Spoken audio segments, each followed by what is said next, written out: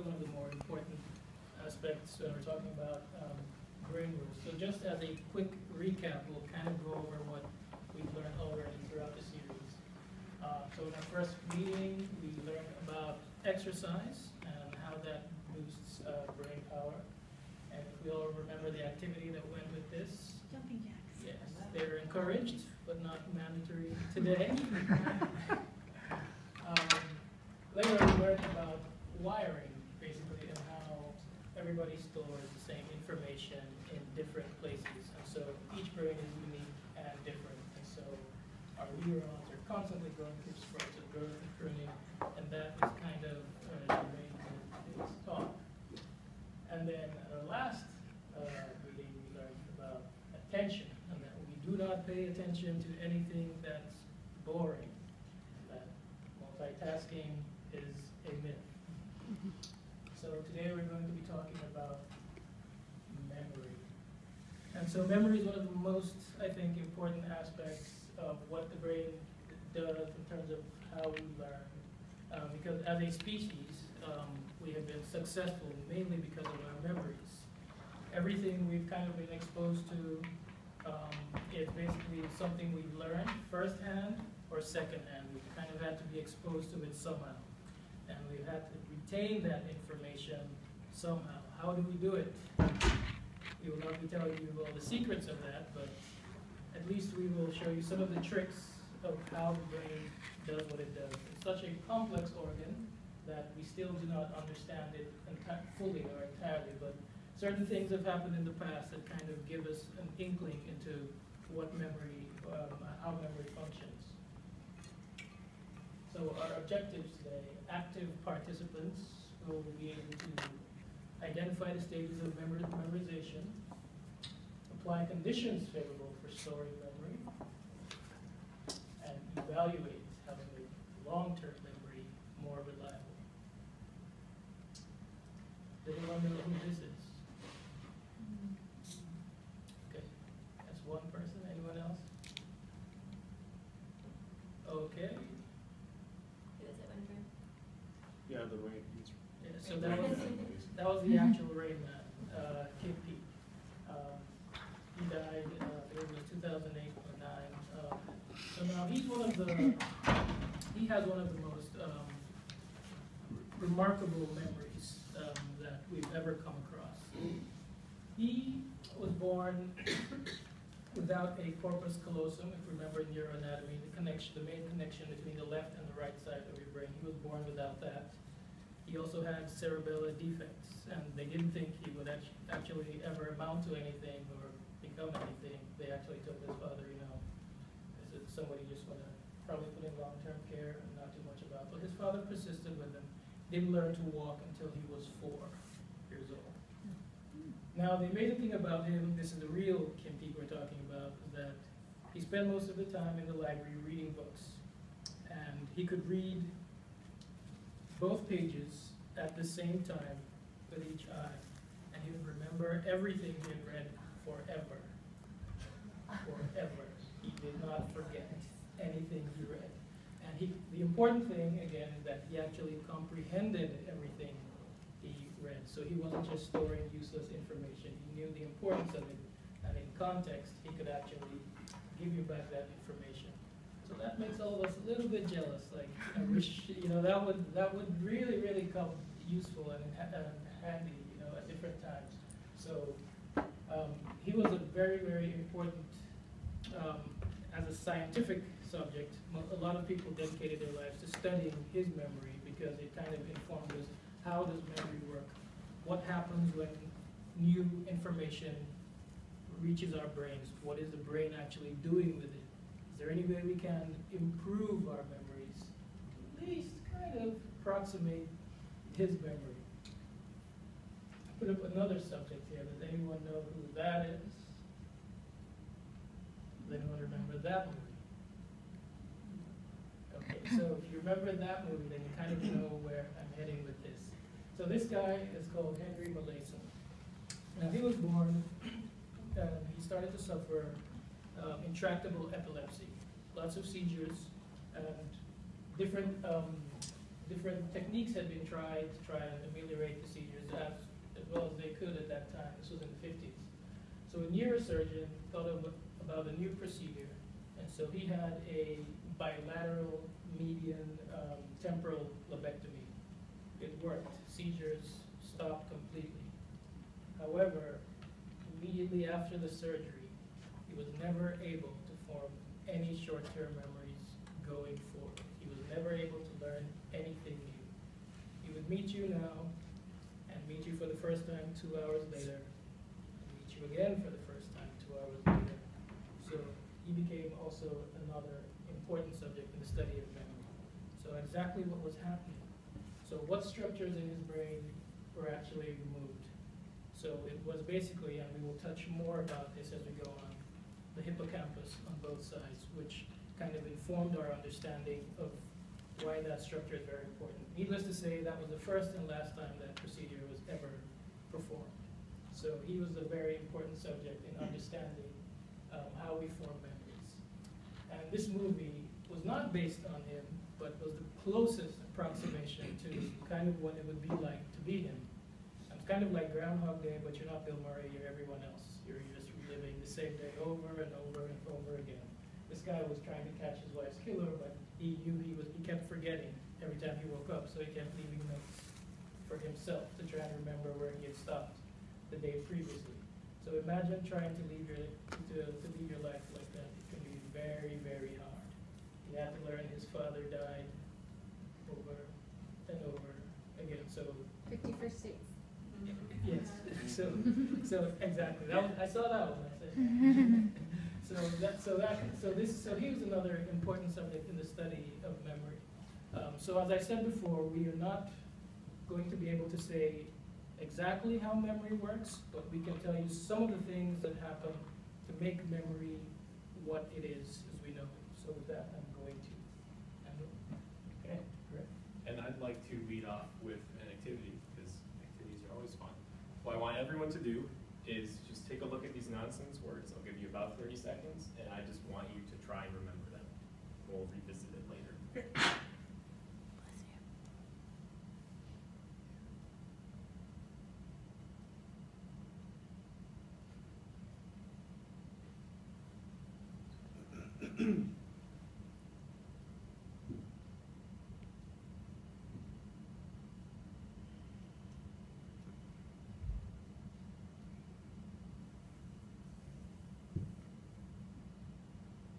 Okay, I think that's enough time. So I want to ask, what does everyone think a memory is? It's kind of tough to describe, right? So I want someone to try to.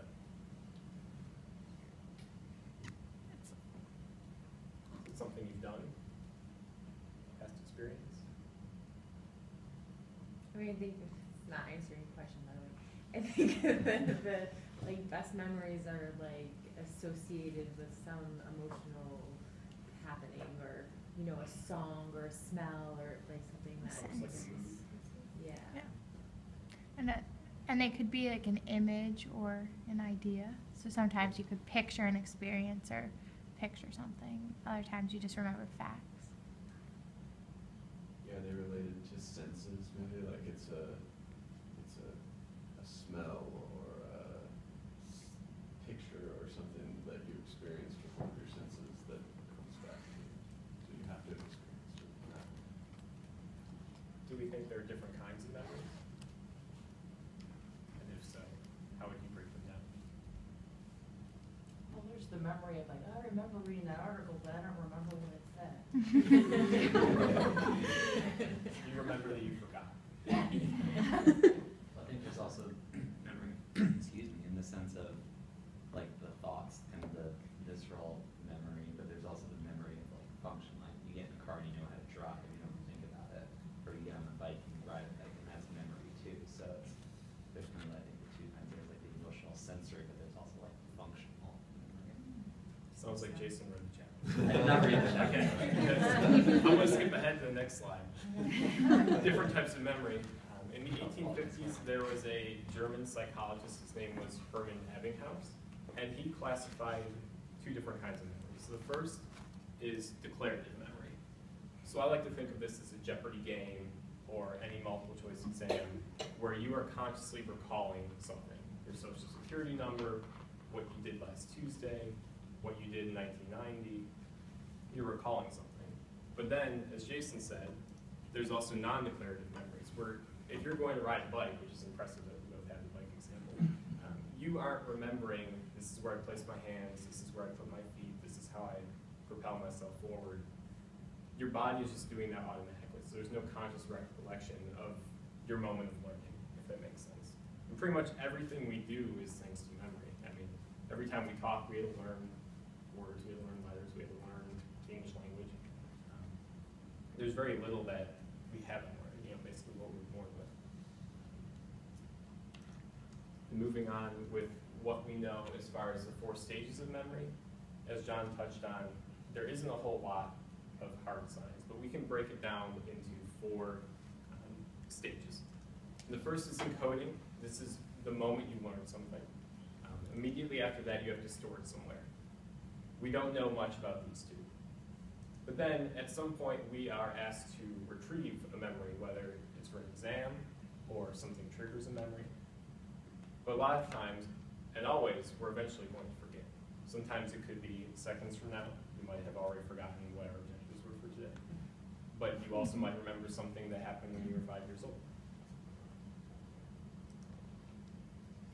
So for encoding and storing, it isn't like you're filing something away in a cabinet.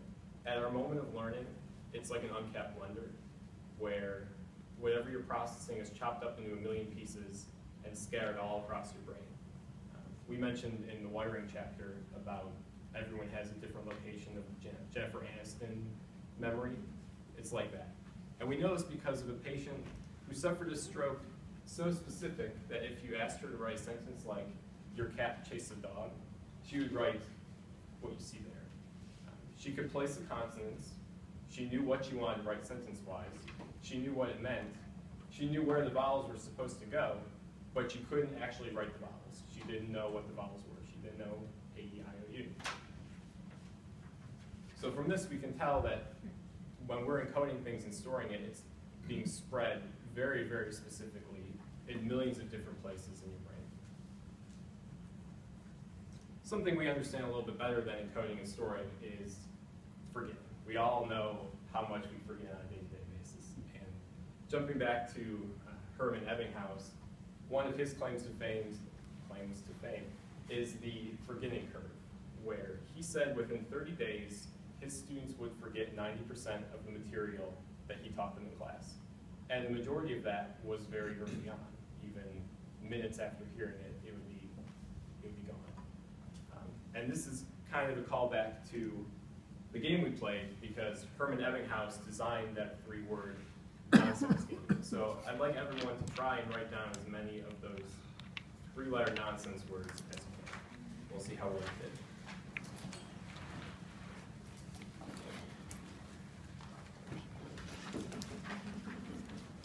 Lucas has zero. That's good. He's got one.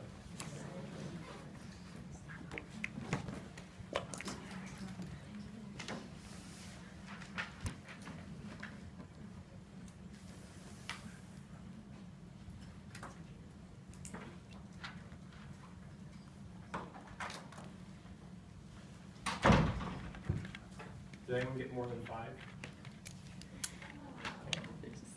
Is everyone done writing before I show the answers? Are we still, Jason's thinking? No? Do you guys wanna stand up and like see who's in the third? Well, I only have six. Okay, I have well, let's- six. Let's just confirm, you have, is that right? Um, I, I have, Close. Oh, I I have Taslev, Pifker, Deck, Ian. Okay. Well, that's how I said them. Anyone close to that? I got six, but I spelled heck wrong. I had H E P. I only got six, I only have five. Okay, so we have a couple people, five or greater. Anyone get zero to two, it's okay to admit. No. That's about half the room probably, next to nothing. So the people who got five or more, is there anything you did memory-wise, like any trick you did to try and remember? We've got a lot of different colors, we've got italics, was there some memory trick that you used? The Kerr was easy because it was underlined, right? That's the easy one. And the first one was first. Well, when I was just looking at them, I didn't, I knew I wouldn't remember them, so then I made them animals. Tasmanian devil, dev- devil, leopard, Yeah. um, cur was a dog, even though it's not really. And again was Yinzer, Mhm. Yeah. and then That's what I- Griff and Dex stayed for some reason. That's what I was doing too, I was thinking like SUV, but with the B, like a, a BMW SUV or, you know, so I was trying to, the J- um, Jag and Piff, I was trying to, like, I remember them together, like JPEG and, and there's a Piff, right? There's, Yeah, Yeah. because the first Oh, you just okay. saying Oh, them, yeah. and I was like, oh, they don't, then, the first two remind me of animals, so that's why I started there. I'm the nerd of the group. I started with JAG's JPEG, and it was like, all right, well, deck computer, GIF instead of GIF. So I was like, I ran out of computer terms, so I only got three of them right. I somehow remembered the bold black ones. The gold black ones? Yeah. So it sounds like we had a couple different techniques to try and remember more. And Brain Rules goes into a couple different scientific bases, or bases, bases, um, for, that's a good point. Um, Trying to remember more tricks like what you just did. So the first one, I call it the same seat theory, Brain Rules doesn't call it that, but I like to think of a classroom example where every time you go to class, you sit in the same seat. Every time you're sitting in the same seat, learning material, then exam day comes and someone's in your seat. It's not actually your seat, but you always sit there. The person sitting there thinks it's not a big deal that you just stole your seat, but you feel it's a big deal. So you sit somewhere else, you get an 80 on the exam. Interestingly, there have been a couple studies that show that there is a basis for sitting in the same seat. Can perform up to 15% better if you're repeating your original location and environment. They did a study where they put, they took a bunch of, uh, they took a bunch of participants to the beach, which sounds like the greatest study possible. They put them in the water and they had them memorize words similar to what we had done earlier. If they stayed in the water when they were asked to recall it, they remembered a certain number of words. But if they went to the beach, they remembered about fifteen percent less. Hmm. And if you're thinking maybe it's just specifically water makes you remember better, they reversed it where they had them on the beach for the point of memorization, and staying on the beach helped comparison to going into the water. Greg, there's a theory, you know, it's called propensity analysis that we see in the medical journals that is based on that philosophy. Just where you sit, there's propensity where people are attracted to. When you think about where you are right now, it'll, it'll work. But that developed into a statistical model somewhere around 15, 20 years ago. I don't know if you guys remember, but propensity analyses is, is well known. I use it probably once or twice a month. It's a very strong technique. You know, we're on because there's some affinity. We're going there. And it is even true for things that you might think be negative. If you consume alcohol, consuming alcohol will help you remember better anything that happened while you're drinking. That's also true for laughing gas, it's true for marijuana, it's true for negative things that you would think hurt your memory. If you were doing something at that point, you remember it better in that initial state. And there, there's studies for that. Well, it sounds similar to if you walk into another room to get something, and you forget what it is you walked in to get, You go if you back go to back to where you started. yeah. Started, I, for me, that generally works and I remember, because you have that physical memory too then, of what you were doing when you had the thought. So you're saying the movie How High, based in fact, I've not seen that movie. Redman and some other rapper from the nineties. Okay, sounds good. On that note, let's another. Another word game. I want the left side of the room, so your left, not mine. I want you to close your eyes. Right side, leave them Oh, open. I gotta do this. Nicole and Teresa can decide which side they want to I gotta keep my eyes open. Sorry. So here are your instructions for the right side of the room. Left side, closed. Closed. Frank's gonna be there. Good. Everyone can open their eyes back open. Open their eyes. Okay. Uh, Now it's the right side of the room's turn to close their eyes, while the left side gets instructions.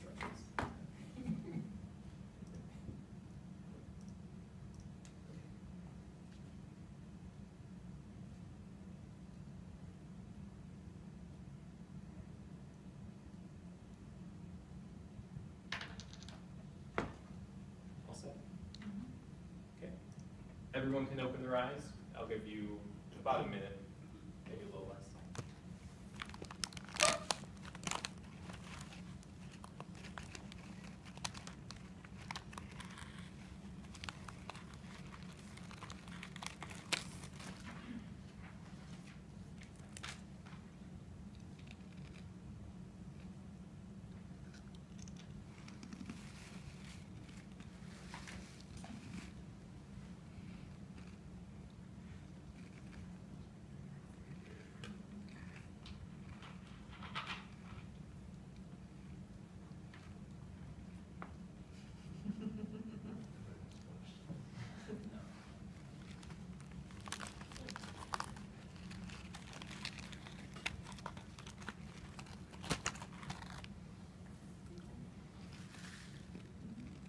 Okay. That may or may not have been related to our next point. Um, We'll go back to those words in the future. But the final memory trick that I have for you is that we remember more if we are able to attach like those nonsense words to something more vivid, more complex, which is why we're all wearing really goofy outfits today. Hopefully you remember more. Um, that's why a lot of the things in the slides have different colors on them, a lot of pictures. We hope that that is what you're taking away. Because the more vivid the memory, the more likely you are to retain it. So And we also will- don't pay attention to boring things, right? So.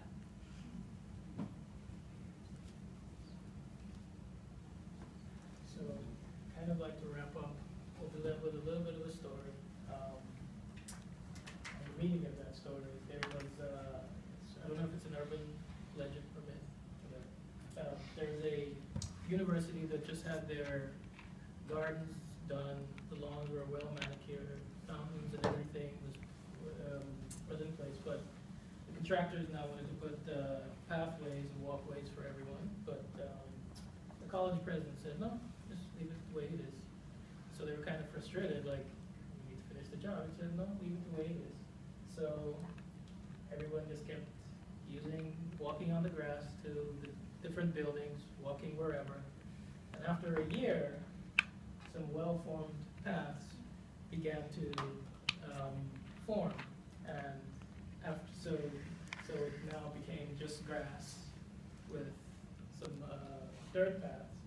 And so those became the paths. And the college president called the contractors back and he said, okay, now wherever you see a path, that's where you should pave. And that's where everyone started walking because people use the most efficient ways to get from building to building. Now this video was a group of people over the five-day period, they just walked the same paths over and over and over and over and over again. And, well, it's an experiment, so it takes five days if you want to get a path. Um, The reason why we bring this up is because whenever we're trying to, we talked about the first steps, what your brain does with memories, it kind of chops them up, slices and dices throws them off to different parts of your brain.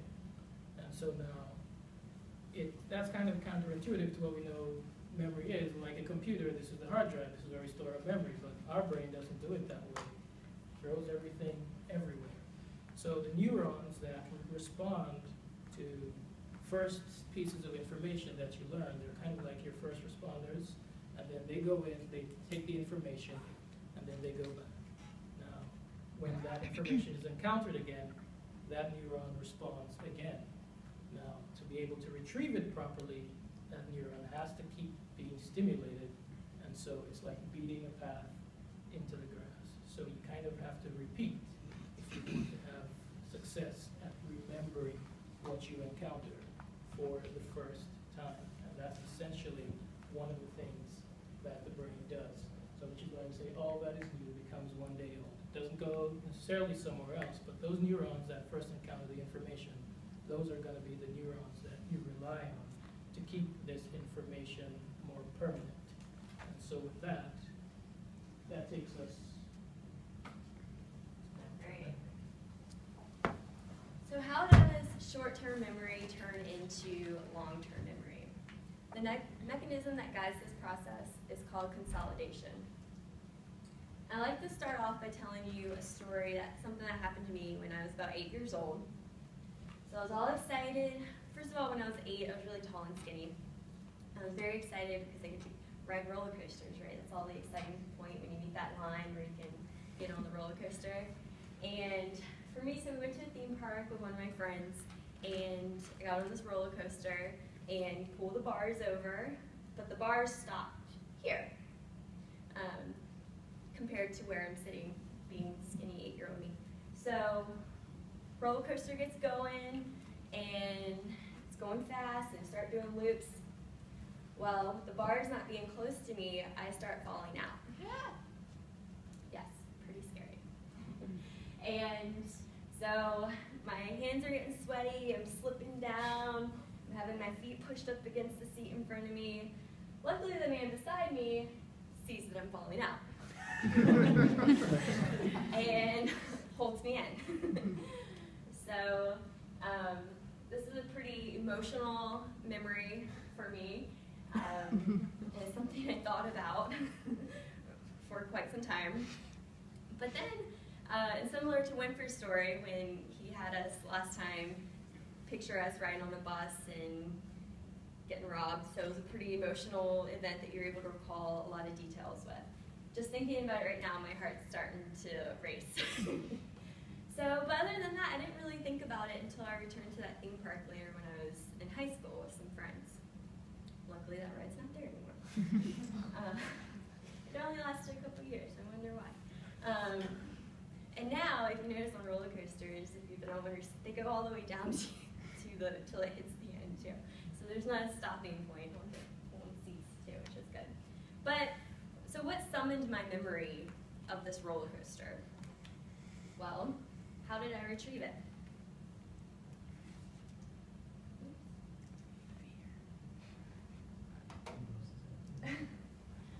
Well, research has told us when previously consolidated memories are recalled from our long-term memories, long-term storage, uh, the consciousness, they revert to short-term, and this is called reconsolidation. Basically, when we retrieve our long-term, we re retrieve those memories, or those fragments of memories from our long-term storage, they kind of revert back to short-term memory, and the pieces start filling in, and then that memory goes back to our long-term memory. So how does this happen? So like working memory that we talked about, there's some di there's different kinds of uh, long-term memory. However, unlike working memory, not much is agreed upon. But there are two ways that researchers think this occurs. One is the library um, model where it passively imagines libraries. And then the second model more aggressively imagines crime scenes. And we're going to go into these in more detail. So the library model. So you can picture your brain as like storing as a library where it stores information just like books are stacked on shelves. So when we want to retrieve something, we use a command to pull out, um, to find a volume, to pull out that information, and once it's found, retrieved, we use that context and it's the memory is read like a book. So these memories can, um, it's often used soon after learning something new, like within minutes or hours or days. Um, but then as time fades away, this memory to our second model, which is the crime scene. And this is more like, it becomes more of a collection of information, similar to like a collection of crime scenes of um, Sherlock Holmes. Does anyone watch the new Sherlock Holmes? Yeah, it's very good. You should.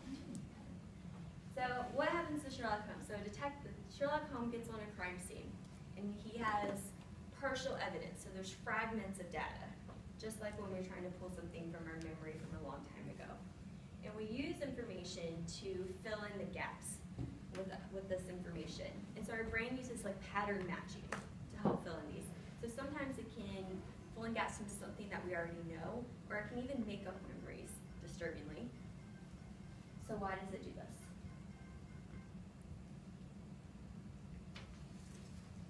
And how can we make our reliable, how can we make our long-term memory more reliable to help with less of the filling in the gaps, the more the pattern matching? Well,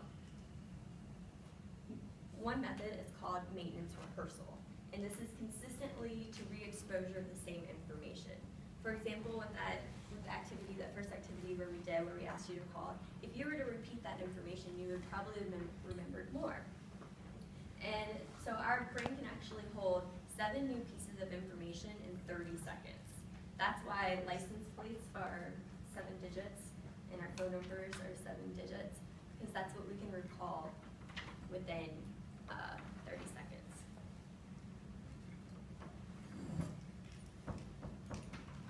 We all remember September 11th. This is an event that affected our whole nation. Can some of you tell me where you were on September 11th? Anatomy lab. Anatomy lab. Here. Here, VA. the VA, Selby Gardens in Sarasota. Florida, Getting pulled out of school. pulled out of Middle school. Oh, we had school. it Yep. Me was in Spanish class, just stopped everything, pouring TV and watching the news. So why, why is it that instead of remembering what we ate for dinner last week, how can we remember this information that happened during that time?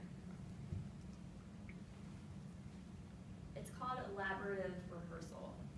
So when you think about an event more, when you talk about an event with others, so this was in the news for a long time, we repeatedly heard this information, we talked about it, we thought about it for a long time. And because of this, we all remember where we were on 9/11, unfortunately.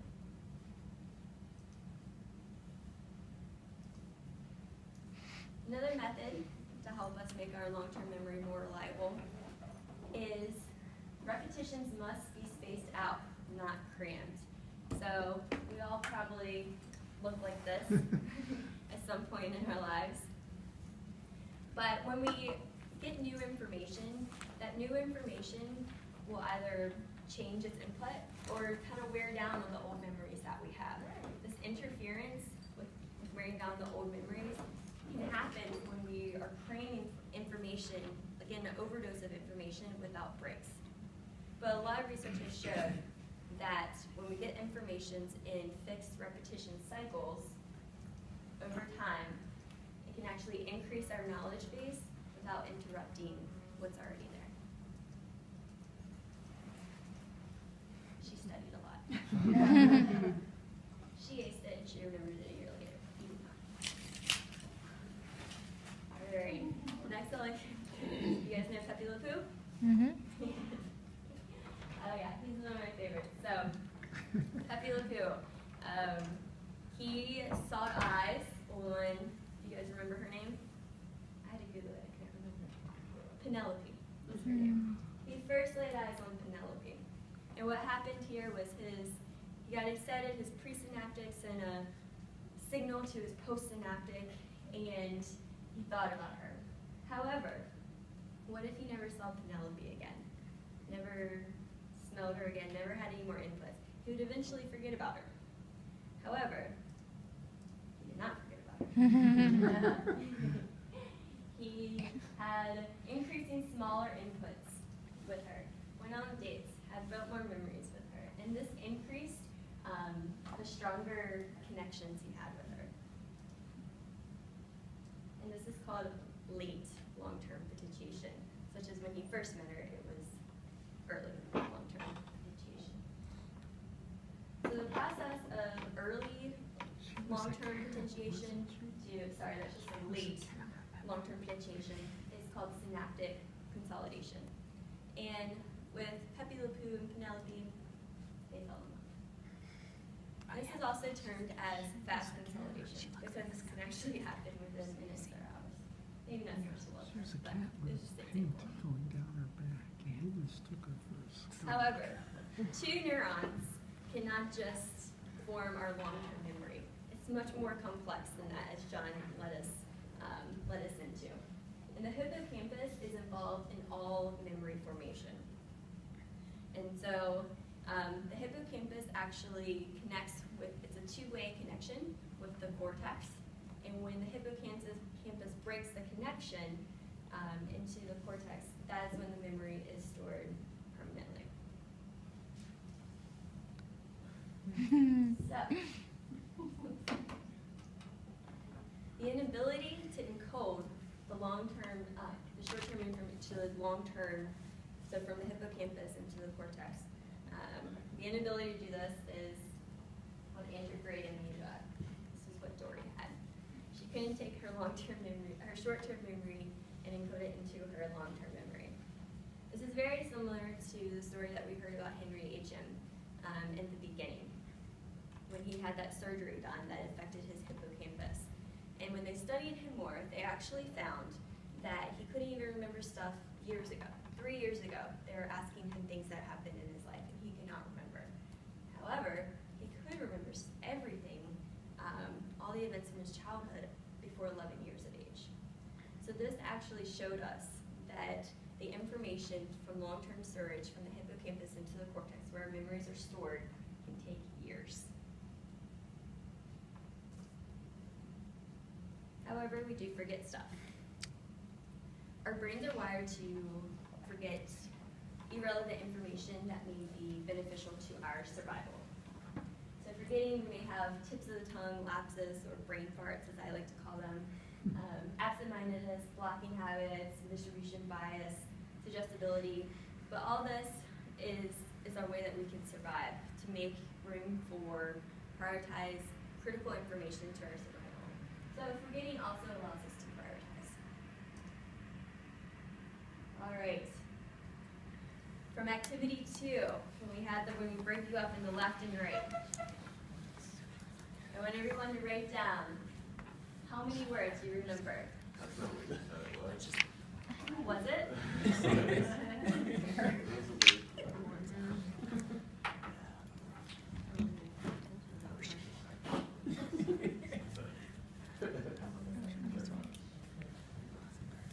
Okay, we'll give you about thirty more seconds to write down all the words you can remember. So right side of the room, tell us what you're, you were tasked with, what are some of these? Looking for diagonal lines. Yep. There were twelve to fifteen, depending on how you interpret ours. Good job. All right, we're gonna find out the left side in just a minute. Um, I remember there were nine words. I wrote down eight. All right, so Frank, I you were can't on remember the, the nine. Were you on You're the? I'm on the right. you're on the right, and you actually remembered eight. Did you write the word down? You were Yeah. on the, No. All right. Well, you do want me to write them down? Just now, you said to write them down. Yeah, you were on the right, it you were on Oh, our write it side? down now. Yeah, he was, because he couldn't decide Oh, who did you write was it down? There were nine. I don't remember. All right, Three. stop Ah. writing. One. Okay, so how many words did you write, Lucas? None. None. One. Um, Matt? One. Three. Raiford? Oh. One. Chris? None. Dr. Selesky, you said three. Three. All right, one. One correctly. One. I Nicole? didn't- I didn't- Oh, You made up words. Frank, how many you had? I got eight, I forgot whether. Eight. All right, Frank is our. But you said that, but, but you, wait, you said you, uh, the diagonal, so I only picked the, the, like the letter and then I added the word later. Apple has a diagonal in it. That was the ki, that was the, ki- the clue, right? Well, you just You had to said- count the diagonal lines. All right, so, and we'll go over that in just the left side. So Janice, six, Five. five, So I thought they all had a diagonal. one, They did, yeah. one, one. Five, okay. Hmm. They had a different memories. I was They- on the left, well, I didn't, I, I didn't. Oh, Teresa was understand there. what the instructions, because you didn't. She was have on the left. She was on the leopard left. scale. You didn't say what, how to rank. Greg, you got All it. right, I'm so not- here's, so left side definitely Six. got more, like, um, so left side was asked to think about the meaning of the word. So similar to how Dr. Freelander was saying that she made the word, that knows nonsense words into animals, that, that's what made it meaningful to her. So we actually asked them to rate on a scale one to ten how much you liked or disliked the word. Um, so by adding meaning to a word, whether it be the scale or something else with animals, it makes it more meaningful and therefore you tend to remember more. However, with the right side, we asked them to determine the number of letters that have diagonal lines in them and the number of letters that do not. So they just looked at the word and they're counting different lines and they tend not to remember as many words. Frank's an exception. He's the outlier. I didn't do it right, though. No, you did it right. So some key points that we want you to take away with Backwards this. It takes years to consolidate a memory, not minutes, hours, days, but years. So what you learn in the first grade is actually not even formed until like your sophomore year of high school. What? They get you on the high smart and fifth grader. Um, Medina's Dream School. So Medina was the author of Brain Rules, and his vision of how school or learning actually is that the school is one that repeats what was learned, not at home, so not taking learning it and then going at home and doing homework, but actually during the school day, 90 to two hours later, um, repeat the initial what was what initial learning occurred. Our, our schools are currently designed so that most real learning has to occur at home, which is several hours after they learn the initial information. So has this almost like you spend 30 minutes learning one subject, then you spend 30 minutes learning another, and then a third, and then you repeat that. That first one, that second one, that third one, throughout the day to help repeat to remember. So, how do you remember better?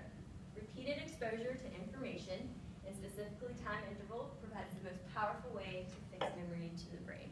So again, repeating, spacing it out more. And then forgetting. Forgetting allows us to prioritize events, but if you want to remember, remember to repeat.